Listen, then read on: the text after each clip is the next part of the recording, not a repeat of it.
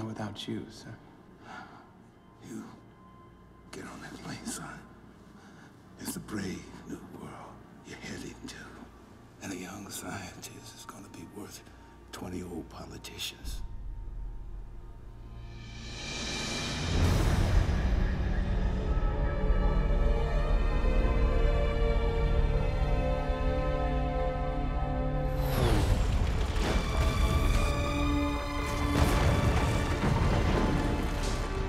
We should go to my parents' house in the Rockies. Right, this isn't one of your crazy stories now, right, Jackson? How the hell are we gonna make it to China, huh? Hey, Gordon, without Jackson, we wouldn't even made it out of California. Uh, Noah, please.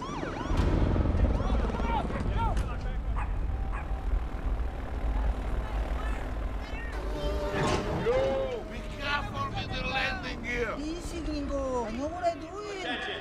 The National Guard has informed us that an extremely hazardous ash cloud is headed for the city of Las Vegas. Hey, where are you going? Everyone, move indoors immediately.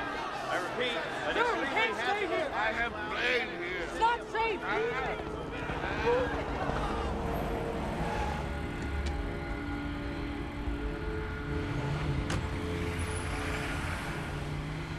So you have positive confirmation on this?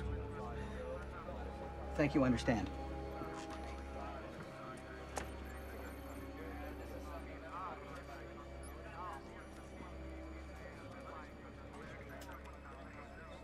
President's not coming.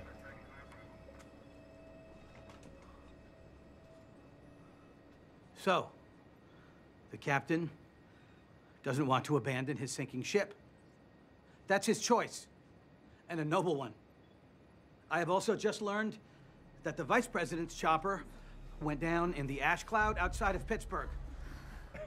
Fortunately, we have protocols to follow. What about the Speaker of the House? In this chaos, I have no idea. Where is he? He's the commander in chief now, sir. I don't know what to tell you. This is one flight he shouldn't have been late for. Tell the captain we're taking off. Sir, you don't have the authority. Who's got the authority? You? You've got the authority? You couldn't even keep your goddamn mouth shut. You betrayed top secret information last year. Could have had us all killed. What the hell are you talking about? You told your father everything. Put this entire plan in jeopardy. Good thing for you, the old man could keep his mouth shut better than you. Oh, come on. Don't look so shocked. We had to monitor everybody you knew. How do you think we kept it a secret for so long? So we just killed anybody who tried to talk? Anybody who tried to talk was not just an enemy of the state, they're an enemy of humanity. The director of the Louvre was an enemy of humanity? After he called a press conference, he was! Jesus, what did you think?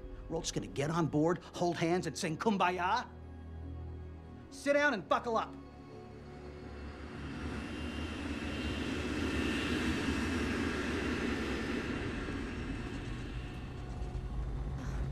Excuse me, is my father in the command center? President's on the line, Dr. Wilson. Thank you.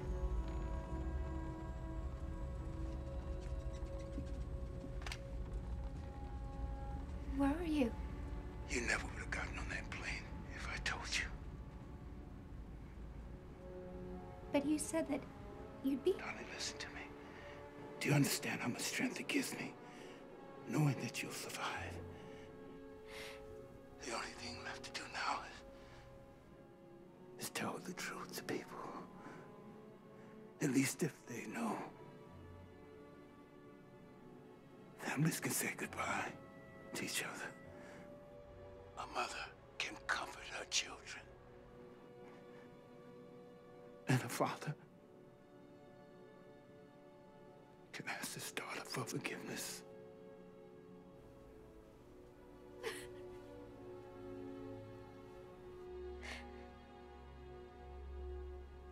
Whenever you're ready, Mr. President.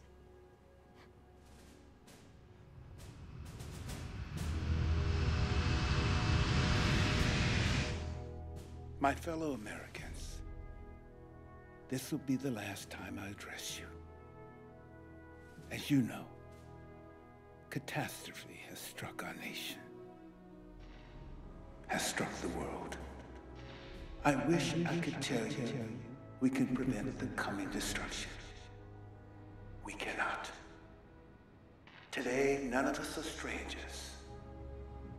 Today, we are one family stepping into the dark.